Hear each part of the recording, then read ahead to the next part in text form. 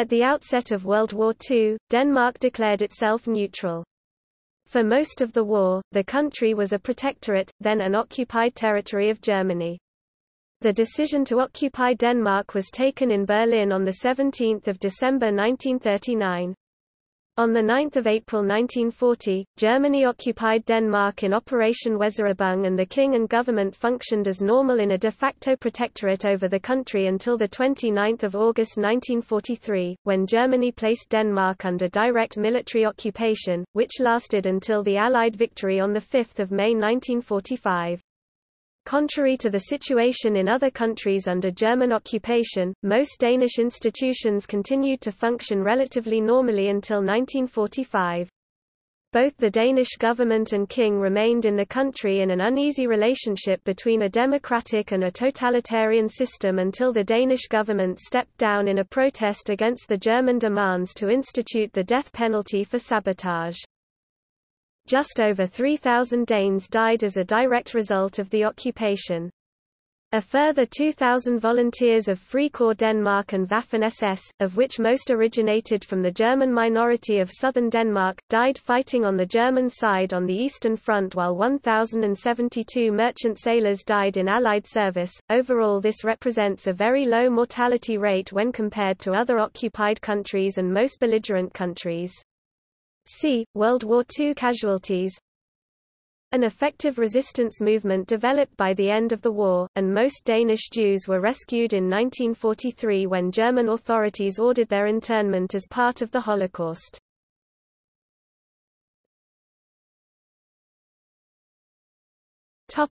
Invasion The occupation of Denmark was initially not an important objective for the German government. The decision to occupy its small northern neighbour was taken to facilitate a planned invasion of the strategically more important Norway, and as a precaution against the expected British response. German military planners believed that a base in the northern part of Jutland, specifically the airfield of Aalborg, would be essential to operations in Norway, and they began planning the occupation of parts of Denmark.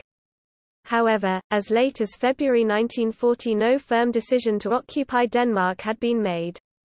The issue was finally settled when Adolf Hitler personally crossed out the words Die Nordspitze Jutlands, the northern tip of Jutland, and replaced them with DAR, a German abbreviation for Denmark. Although the Danish territory of South Jutland was home to a significant German minority, and the province had been regained from Germany as a result of a plebiscite resulting from the Versailles Treaty, Germany was in no apparent hurry to reclaim it.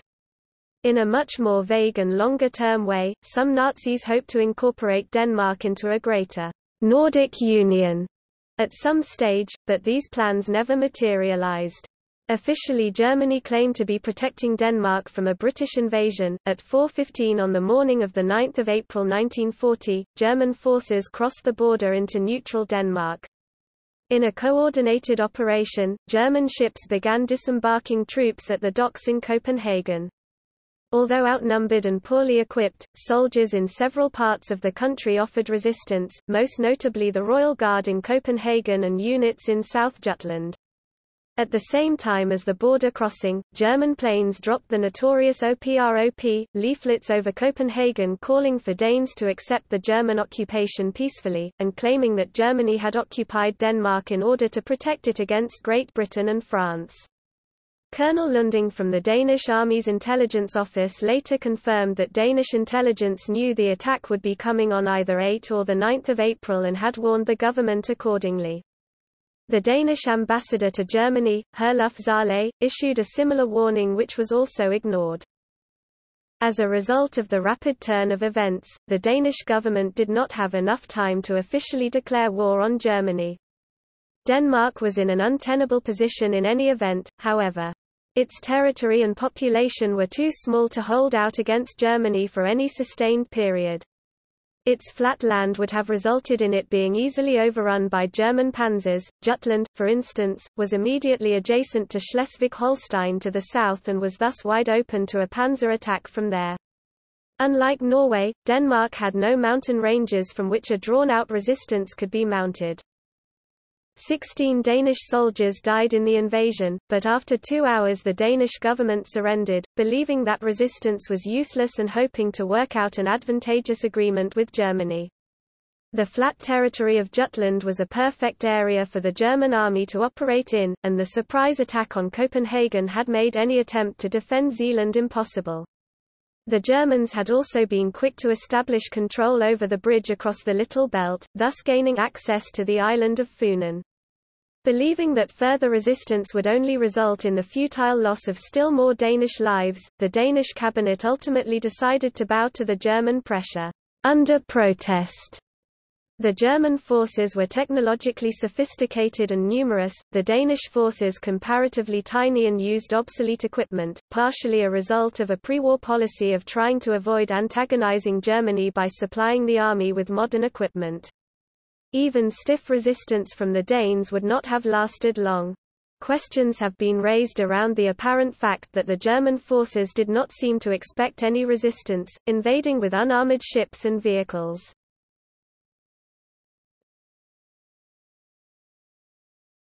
Topic: Faroe Islands. After the occupation of Denmark, British forces from 12 April 1940 made a preemptive bloodless invasion of the Faroe Islands to prevent their occupation by German troops. Britain took over the areas where Denmark previously had given support, and the islands now became dependent on Great Britain, which began to participate in fishing production and supplied the islands with important goods. The British fortified positions in strategically important places. Sundini fjords were mined, and at the island of Vagar, British engineers built a military aviation base. Up to 8,000 British soldiers were stationed in the Faroe Islands, which at that time had 30,000 inhabitants. The Faroe Islands were repeatedly attacked by German aircraft, but with minimal damage.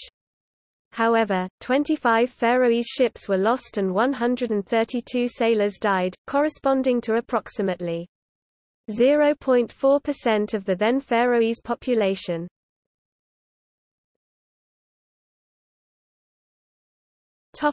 Iceland From 1918 until 1944 Iceland was self-governing, but the Danish king, king Christian X was head of state of both Denmark and Iceland. The United Kingdom occupied Iceland to pre-EMPT a German occupation on 10 May 1940, turning it over to the then neutral United States in July 1941, before that country entered the war in December 1941. Officially remaining neutral throughout World War II, Iceland became a fully independent republic on 17 June 1944.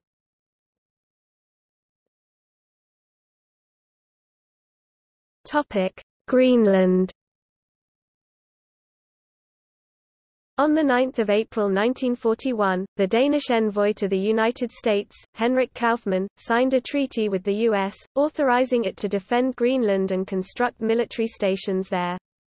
Kaufmann was supported in this decision by the Danish diplomats in the United States and the local authorities in Greenland. Signing this treaty, in the name of the King, was a clear violation of his diplomatic powers, but Kaufmann argued that he would not receive orders from an occupied Copenhagen.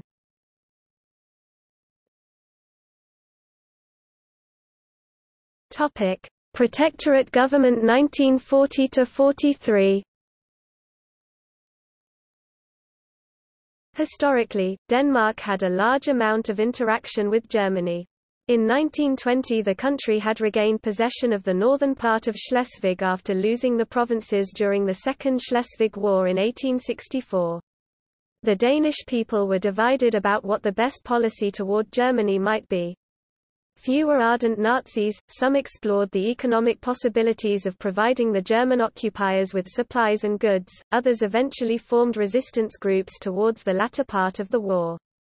The majority of Danes, however, were unwillingly compliant towards the Germans. Due to the relative ease of the occupation and copious amount of dairy products, Denmark earned the nickname the Cream Front German, Front, as a result of the cooperative attitude of the Danish authorities. German officials claimed that they would respect Danish sovereignty and territorial integrity, as well as neutrality. The German authorities were inclined towards lenient terms with Denmark for several reasons. Their only strong interest in Denmark, that of surplus agricultural products, would be supplied by price policy on food rather than by control and restriction. Some German records indicate that the German administration had not fully realized this potential before the occupation took place, which can be doubted. There was serious concern that the Danish economy was so dependent upon trade with Britain that the occupation would create an economic collapse, and Danish officials capitalized on that fear to get early concessions for a reasonable form of cooperation. They also hoped to score propaganda points by making Denmark, in Hitler's words, a model protectorate. On top of these more practical goals, Nazi race ideology held that Danes were fellow Nordic Aryans and could therefore to some extent be trusted to handle their domestic affairs. These factors combined to allow Denmark a very favorable relationship with Nazi Germany. The government remained somewhat intact, and the parliament continued to function more or less as it had before. They were able to maintain much of their former control over domestic policy. The police and judicial system remained in Danish hands, and unlike most occupied countries, King Christian X remained in the country as Danish head of state. The German Reich was formally represented by a Reichsbevollmachtigter Reich plenipotentiary, i.e. a diplomat accredited to the sovereign, a post awarded to Cecil von Renthe Fink, the German ambassador, and then in November 1942 to the lawyer and SS General Werner Best. Danish public opinion generally backed the new government, particularly after the fall of France in June 1940. There was a general feeling that the unpleasant reality of German occupation must be confronted in the most realistic way possible, given the international situation. Politicians realized that they would have to try hard to maintain Denmark's privileged position by presenting a united front to the German authorities, so all of the mainstream democratic parties formed a new government together. Parliament and the government agreed to work closely together. Though the effect of this was close to the creation of a one-party state, it remained a representative government. The Danish government was dominated by Social Democrats, including the pre-war Prime Minister Thorvald Stauning, who had been strongly opposed to the Nazi Party. Stauning himself was deeply depressed by the prospects for Europe under Nazism. Nonetheless, his party pursued a strategy of cooperation, hoping to maintain democracy and Danish control in Denmark for as long as possible. There were many issues that they had to work out with Germany in the months after the occupation. In an effort to keep the Germans satisfied, they compromised Danish democracy and society in several fundamental ways. Newspaper articles and news reports, which might jeopardize German-Danish relations, were outlawed, in violation of the Danish constitutional prohibition against censorship. On the 22nd of June 1941 while Germany commenced its attack on the Soviet Union the German authorities in Denmark demanded that Danish communists should be arrested. The Danish government complied and using secret registers, the Danish police in the following days arrested 339 communists. Of these 246, including the three communist members of the Danish parliament, were imprisoned in the Horserod camp, in violation of the Danish constitution. On the 22nd of August 1941, the Danish parliament without its communist members passed the communist law, outlawing the Communist Party and communist activities, in another violation of the Danish constitution. In 1943 about half of them were transferred to Stutthof concentration camp, where 22 of them died. Following Germany's assault on the Soviet Union, Denmark joined the Anti-Comintern Pact, together with the fellow Nordic state of Finland. As a result, many communists were found among the first members of the Danish resistance movement. Industrial production and trade was, partly due to geopolitical reality and economic necessity, redirected toward Germany. An overriding concern was a German fear of creating a burden if the Danish economy collapsed as it did after World War I. This sensitivity to Denmark's heavy reliance on foreign trade informed the German decision before the occupation to allow the Danes passage through their blockade. Denmark had traditionally been a major trading partner of both Britain and Germany. Many government officials saw expanded trade with Germany as vital to maintaining social order in Denmark.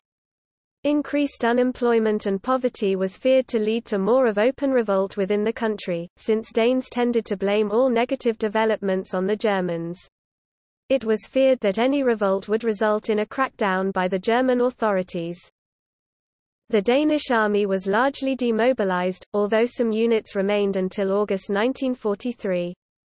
The army was allowed to maintain 2,200 men, as well as 1,100 auxiliary troops.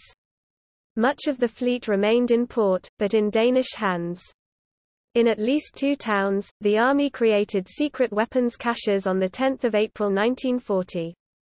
On 23 April 1940, members of the Danish military intelligence established contacts with their British counterparts through the British diplomatic mission in Stockholm, and began dispatching intelligence reports to them by autumn 1940. This traffic became regular and continued until the Germans dissolved the Danish army in 1943. Following the liberation of Denmark, Field Marshal Bernard Law Montgomery described the intelligence gathered in Denmark as second to none. In return for these concessions, the Danish cabinet rejected German demands for legislation discriminating against Denmark's Jewish minority. Demands to introduce the death penalty were likewise rebuffed, and so were German demands to allow German military courts jurisdiction over Danish citizens. Denmark also rejected demands for the transfer of Danish army units to German military use. Stauning remained prime minister until his death in 1942, as head of a coalition cabinet encompassing all major political parties the exceptions being the tiny Nazi Party, and the Communist Party, which was outlawed in 1941 as discussed. Wilhelm Buhl replaced him briefly, only to be replaced by Foreign Minister Erik Scavenius, who had been the main link to the Nazi authorities throughout the war. Scavenius was a diplomat, not an elected politician, and had an elitist approach to government. He was afraid that emotional public opinion would destabilize his attempts to build a compromise between Danish sovereignty and the realities of German occupation. Scavenius felt strongly that he was Denmark's most ardent defender. After the war there was much recrimination over his stance, particularly from members of the active resistance, who felt that he had hindered the cause of resistance and threatened Denmark's national honor. He felt that these people were vain, seeking to build their own reputations or political careers through emotionalism. The Danish authorities were able to use their more cooperative stance to win important concessions for the country. They continually refused to enter a customs and currency union with Germany. Danes were concerned both about the negative economic effects of the German proposals, as well as the political ones.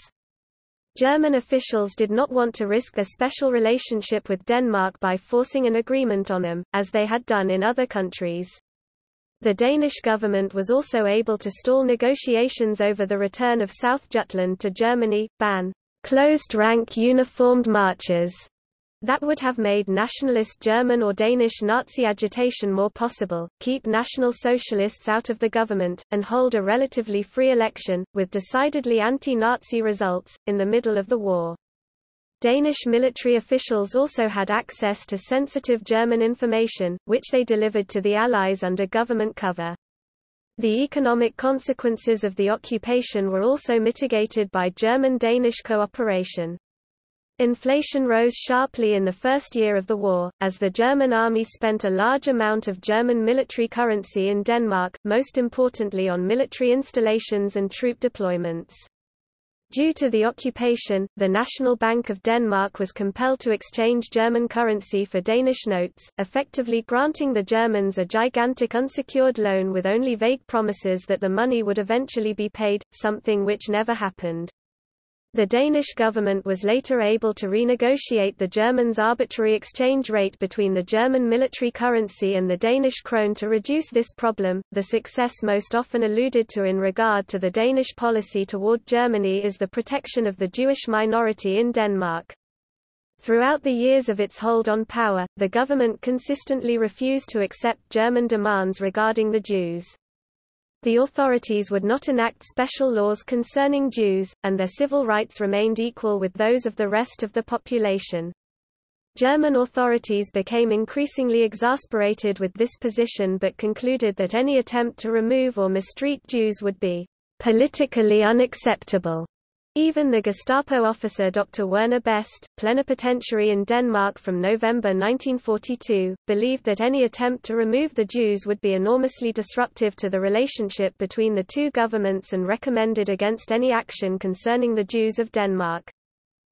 King Christian X remained in Denmark throughout the war, a symbol of courage much appreciated by his subjects.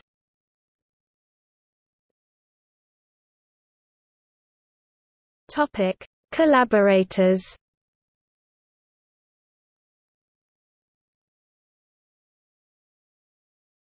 Topic: Frikorps Denmark. On 29 June 1941, days after the invasion of the USSR, Frikorps Denmark Danish, Danmark was founded as a corps of Danish volunteers to fight against the Soviet Union. Frikorps Denmark was set up at the initiative of the SS and DNSAP who approached Lieutenant Colonel C.P. Kryssing of the Danish army shortly after the invasion of the USSR had begun. The Nazi paper Fædrelandet proclaimed the creation of the Corps on 29 June 1941. According to Danish law, it was not illegal to join a foreign army, but active recruiting on Danish soil was illegal. The SS disregarded this law and began recruiting efforts, predominantly recruiting Danish Nazis and members of the German-speaking minority. The Danish government discovered this and decided to concentrate on persuading the Germans not to recruit underage boys. General Prior wanted to sack Kryssing and his designated second-in-command but decided to consult the cabinet. It agreed that Kryssing should be sacked in its meeting on 2 July 1941, but this decision was later withdrawn when Erik Scavenius—who had not attended the original meeting, returned from negotiations and announced that he had reached an agreement with Renthe Fink that soldiers wishing to join this corps could be given leave until further notice. The government issued an announcement stating that, Lieutenant Colonel C.P. Kryssing, Chief of the 5th Artillery Reg. Holbæk, has with the consent of the Royal Danish Government assumed command over Free Corps Denmark. The Danish text only explicitly said that the government recognized that Kryssing had been given a new command, it did not sanction the creation of the Corps, which had already happened without its creators asking the government's consent. In July 1941 Heinrich Himmler complained that Denmark was unofficially trying to stop recruitment, since the word ran in the army that anyone joining would be committing treason. The government later instructed the Army and Navy not to obstruct applications from soldiers wishing to leave active duty and join the Corps. A 1998 study showed that the average recruit to Frikorps Denmark was a Nazi, a member of the German minority in Denmark, or both, and that recruitment was very broad socially.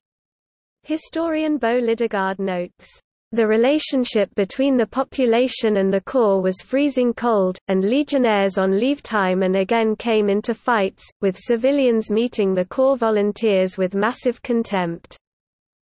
Lidegaard gives the following figures for 1,941 to 6,000 Danish citizens had signed up to German army duty, 1,500 of these belonged to the German minority in Denmark.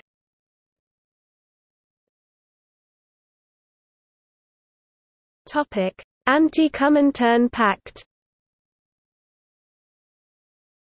On 20 November 1941, five months after the invasion of the USSR, the Danish government received a German invitation to join the Anti-Comintern Pact. Finland accepted reluctantly on 25 November and stated that it presumed that Denmark would also attend the ceremony effectively conditioning its own attendance. Erik Scavenius argued that Denmark should sign the pact but the cabinet ministers refused, stating that this would violate the policy of neutrality. Scavenius reported this decision to Renthe Fink. Fink replied on 21 November that, "...Germany would be unable to comprehend." A Danish rejection and demanded this decision be reversed before the end of the day.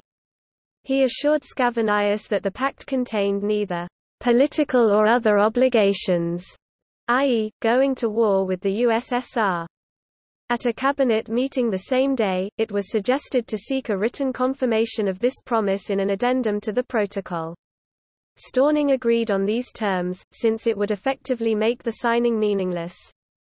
The Danish Foreign Office drew up a list of four terms that stated that Denmark only committed itself to police action in Denmark and that the nation remained neutral.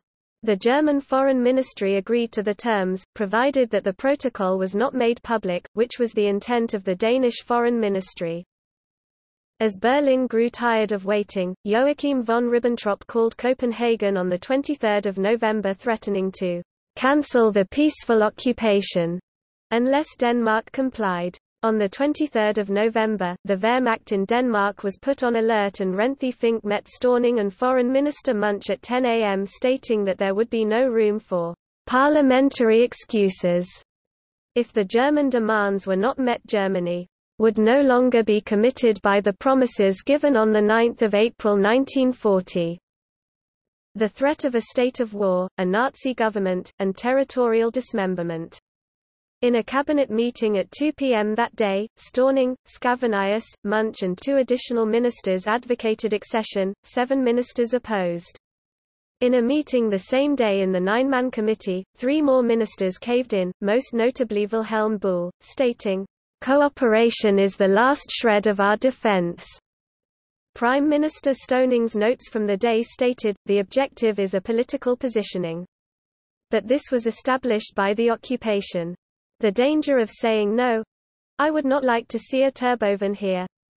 Sign with addendum. That modifies the pact. Scavenius boarded a train and headed for Berlin, where he arrived on Monday 24 November.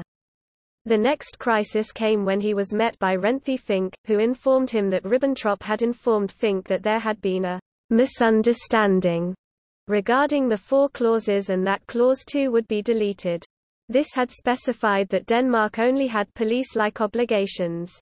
Scavenius had a strict mandate not to change a sentence and stated that he would be unable to return to Copenhagen with a different content from the one agreed upon, but that he was willing to reopen negotiations to clarify the matter further. This reply enraged Ribbentrop, and rumors claim that he was considering ordering the SS to arrest Scavenius. The task fell to German diplomat Ernst von Weizsäcker to patch up a compromise. He watered down the wording but left the content pretty intact.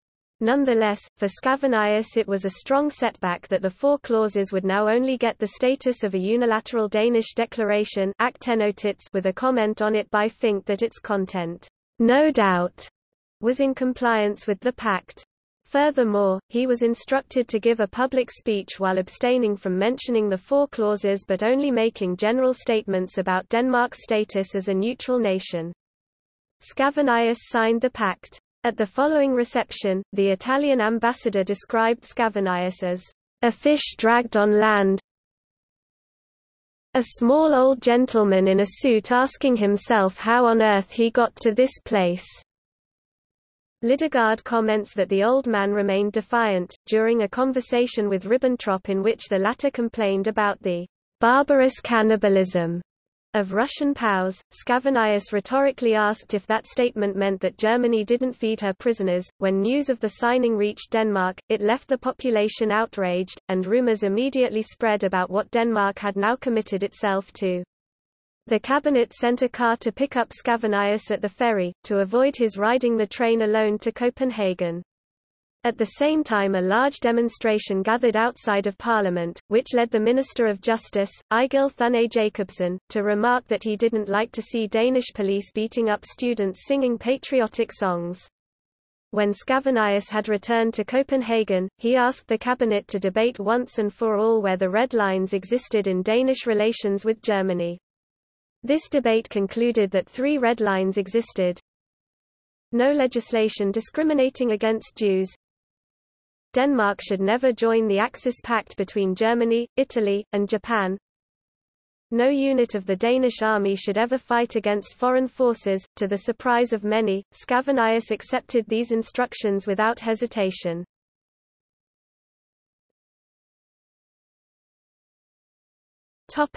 The 1942 telegram crisis In October 1942, Adolf Hitler transmitted a long, flattering birthday telegram to King Christian. The king replied with a simple, Sprech meinen besten Dank aus. Chr. Rex. Giving my best thanks. King Christian sending the Führer into a state of rage at this deliberate slight, and seriously damaging Danish relations with Germany. Hitler immediately recalled his ambassador and expelled the Danish ambassador from Germany. The plenipotentiary, Renthe Fink was replaced by Werner Best and orders to crack down in Denmark were issued. Hitler also demanded that Erik Scavenius become prime minister, and all remaining Danish troops were ordered out of Jutland.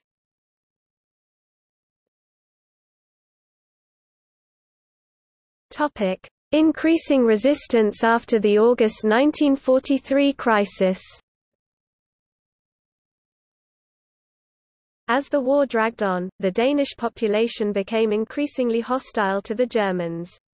Soldiers stationed in Denmark had found most of the population cold and distant from the beginning of the occupation, but their willingness to cooperate had made the relationship workable.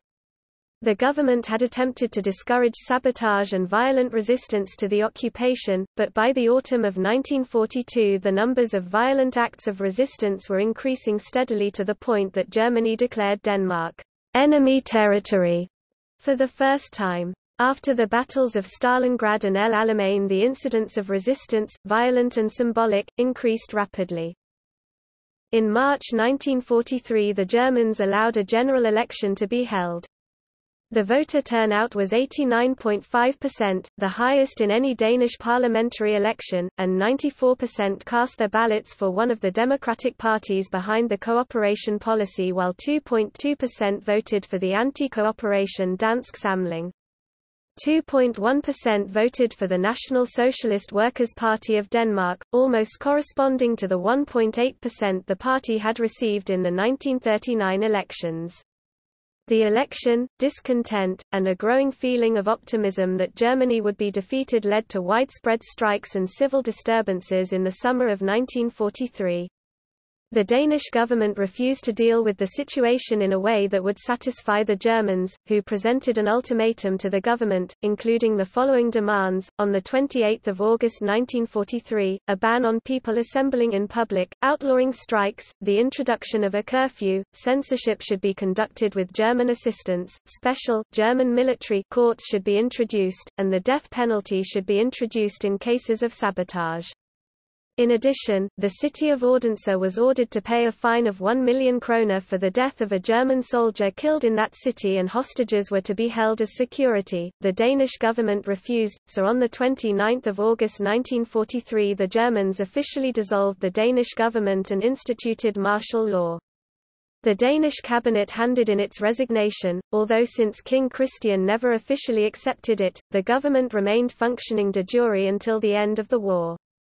In reality, largely due to the initiative of the permanent secretary of the Ministry of Foreign Affairs Nils Svenningsen, all day-to-day -day business had been handed over to the permanent secretaries, each effectively running his own ministry. The Germans administered the rest of the country, and the Danish parliament did not convene for the remainder of the occupation. As the Ministry of Foreign Affairs was responsible for all negotiations with the Germans, Niels Svenningsen had a leading position in the government. In anticipation of Operation Safari, the Danish Navy had instructed its captains to resist any German attempts to assume control over their vessels. The Navy managed to scuttle 32 of its larger ships, while Germany succeeded in seizing 14 of the larger and 50 of the smaller vessels or patrol cutters. The Germans later succeeded in raising and refitting 15 of the sunken ships. During the scuttling of the Danish fleet, a number of vessels were ordered to attempt an escape to Swedish waters, and 13 vessels succeeded in this attempt, four of which were the larger ships, two of the larger vessels had remained at safe harbor in Greenland. The coastal defense ship HDMS Niels Juel attempted to break out of the Isefjord, but was attacked by Stukas and forced to run aground. By the autumn of 1944, the ships in Sweden officially formed a Danish naval flotilla in exile. In 1943, Swedish authorities allowed 500 Danish soldiers in Sweden to train themselves as police troops. By the autumn of 1944, Sweden raised this number to 4,800 and recognized the entire unit as a Danish brigade in exile. Danish collaboration continued on an administrative level, with the Danish bureaucracy functioning under German command. In September 1943, a variety of resistance groups grouped together in the Danish Freedom Council, which coordinated resistance activities. A high-profile resistor was former government minister John Christmas Moller, who had fled to England in 1942 and became a widely popular commentator because of his broadcasts to the nation over the BBC. After the fall of the government, Denmark was exposed to the full extent of occupational rule. In October the Germans decided to remove all Jews from Denmark, but thanks to an information leak from German diplomat Georg Ferdinand Duckwitz and swift action by Danish civilians, the vast majority of the Danish Jews were transported to safety in neutral Sweden by means of fishing boats and motorboats. The entire evacuation lasted two months and one man helped ferry more than 1,400 Jews to safety. Sabotage, unencumbered by government opposition, grew greatly in frequency and severity, though it was rarely of very serious concern to the Germans. Nonetheless, the Danish resistance movement had some successes, such as on D-Day when the train network in Denmark was disrupted for days, delaying the arrival of German reinforcements in Normandy. An underground government was established, and the illegal press flourished. Allied governments, which had been skeptical about the country's commitment to fight Germany, began recognizing Denmark as a full ally. The permanent secretary of the Ministry of Foreign Affairs, Nils Svenningsen, in January 1944 suggested establishment of a Danish camp, in order to avoid deportations to Germany. Werner Best accepted this suggestion, but on condition that this camp was built close to the German border. Froslev prison camp was set up in August 1944. The building of the camp was for the sole purpose of keeping Danish Jews and other prisoners within Denmark's borders. The Gestapo had limited trust in the Danish police, which had a total 10,000 members. 1,960 of these were arrested and deported to Germany on 19 September 1944.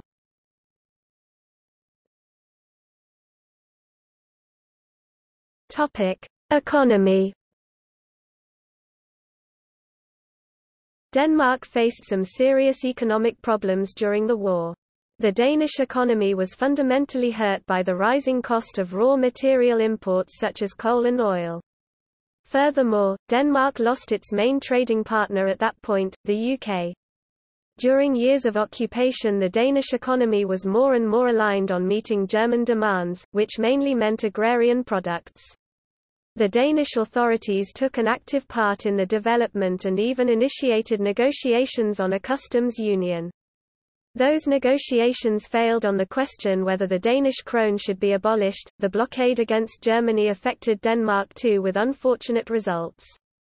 Since the country has virtually no natural resources of its own it was very vulnerable to these price shocks and shortages. The government had foreseen the possibility of coal and oil shortages and had stockpiled some before the war, which, combined with rationing, prevented some of the worst potential problems from coming to the country. The disruptions to the European trading network were also damaging to the economy, but all things considered, Denmark did quite well compared to other countries during the war. The country, at least certain sections of it, did so well that it has been open to the accusation of profiteering from the war. After the war there was some effort to find and punish profiteers, but the consequences and scope of these trials were far less severe than in many other countries, largely a reflection of the general acceptance of the realistic need for cooperation with Germany. On the whole, though the country fared relatively well, this is only a relative measure. Phil Giltner has worked out that Germany had a debt of roughly 6.9 billion kroner to Denmark as a whole. This means that they had taken far more out of the Danish economy than they had put in, aside from the negative side effects of the war on trade.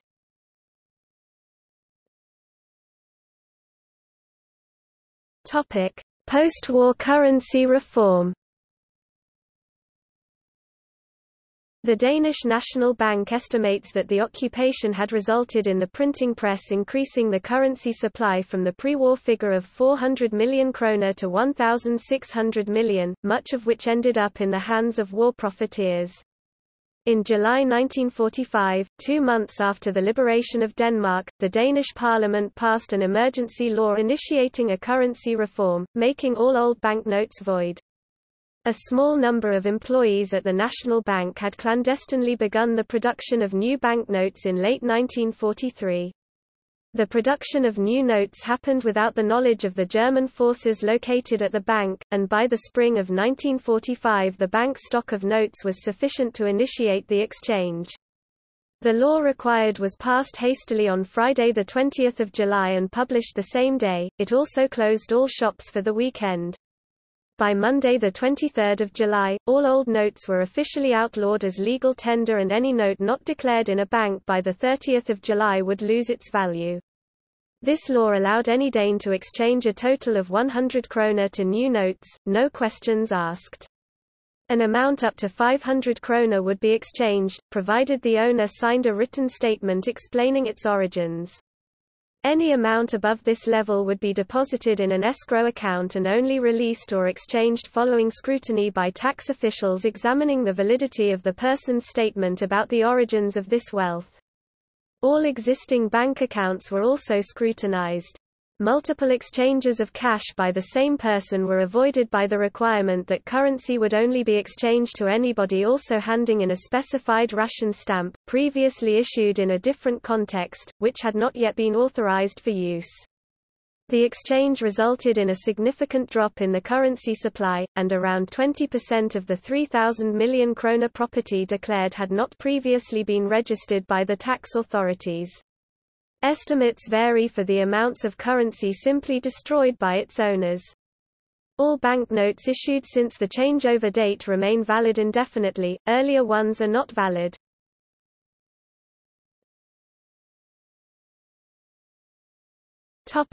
Hardship and the end of the war.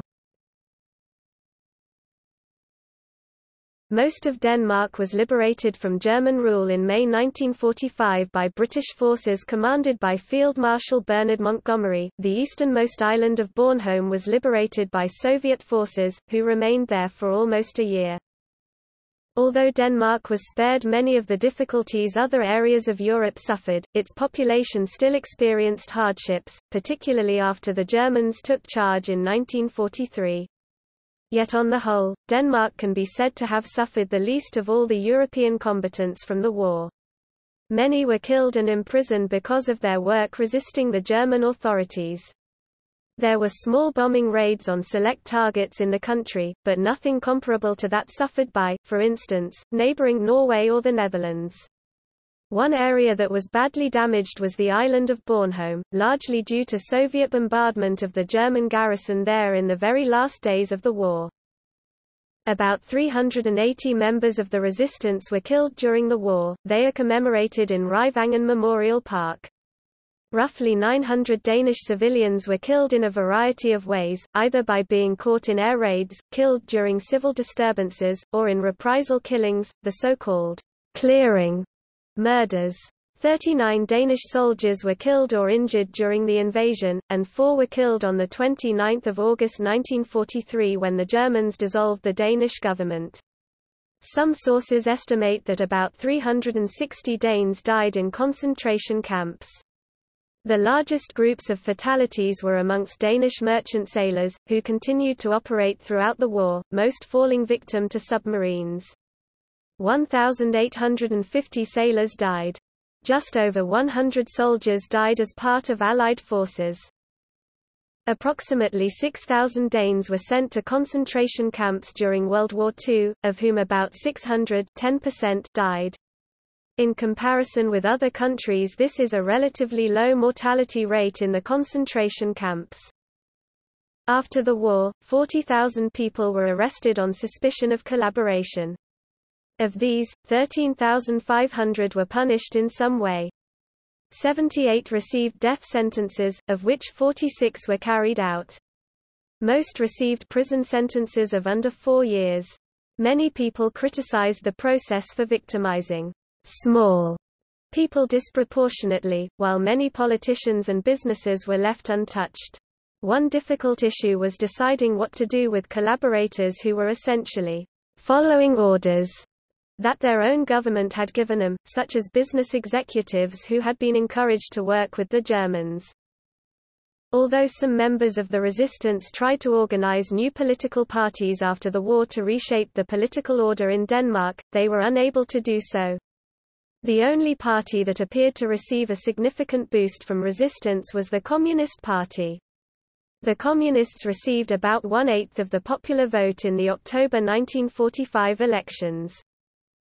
On 5 May 1945, Denmark was officially free of German control. Citizens all over the country took black shades used to cover their window during bombing raids, and burned them in the streets. Allied troops mostly Soviet soldiers were released from prisons all over the country and paraded down streets in Copenhagen, Aarhus, and other cities. In Aarhus, young girls known to have had relationships with German soldiers were dragged into streets by citizens in front of crowds of people, and had most of the hair on their heads cut off. They would then be forced to march down streets to be humiliated.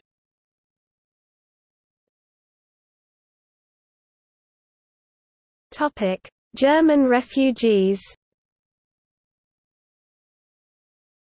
In the final weeks of the war, between 9 February and 9 May, several hundred thousand German refugees fled across the Baltic Sea, fleeing the advancing Soviet army. For the most part, the refugees were from East Prussia and Pomerania. Many of the refugees were women, children, or elderly. Many were malnourished, exhausted or seriously ill. A third of the refugees were younger than 15 years old. The German authorities had given the refugees a privileged status, seizing Danish schools, assembly houses, hotels, factories and sports facilities for refugee housing. At the same time, thousands of Danes were deported to German prisons and concentration camps. German terror against Danish resistance fighters and civilians increased in these final months. The general sentiment among Danes saw the arrival of refugees as a new, violent German occupation. At the time of the German capitulation there were about 250,000 German refugees in Denmark.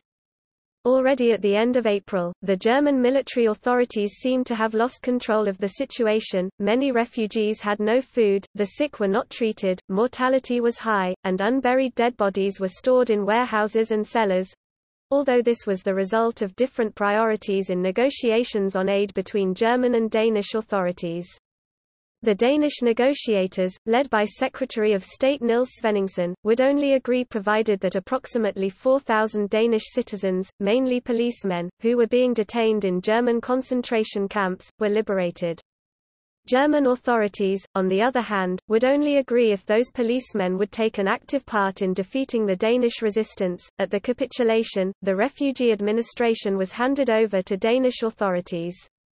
Refugees were gradually moved from over 1,000 smaller locations to new-built camps or previous German military barracks, some of which held over 20,000 refugees.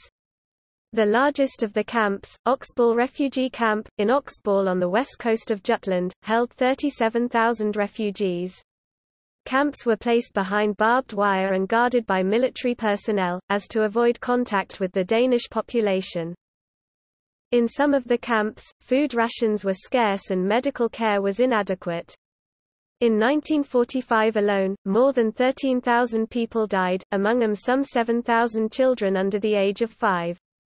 The situation was worst in the months right before and after the capitulation, when Danish hospitals and doctors were reluctant to treat German refugees. The reason for this was not only anti-German resentment, but also lack of resources, the time needed to rebuild administrative structures, and the fear of epidemic diseases which were highly prevalent among the refugees. Instead, Danish authorities established a camp internal medical system with German medical personnel, which took some time to work adequately. In the camps, there was school education for children up to the upper secondary level, work duty for adults, study circles, theater, music and self-issued German newspapers. After initial inadequacy, food rations became more sufficient.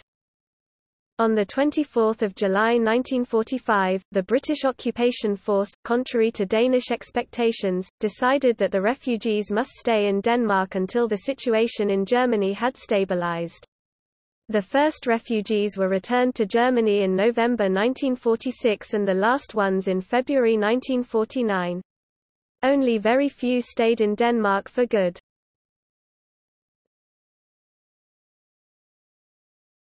Topic: Legacy The policy of the government, called Samarbejdspolitikken cooperation policy, is one of the most controversial issues in Danish history.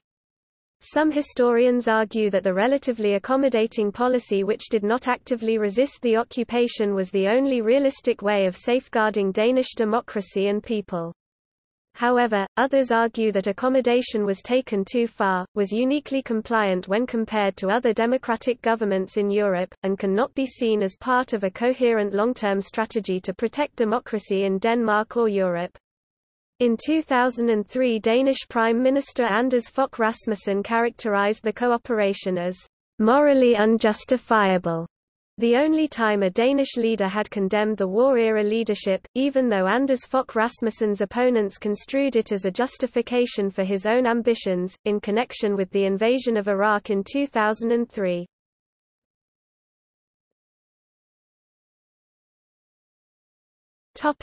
See also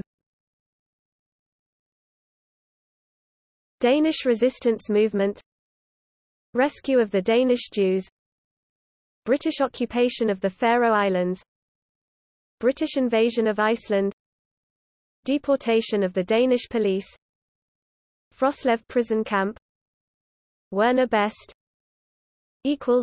Notes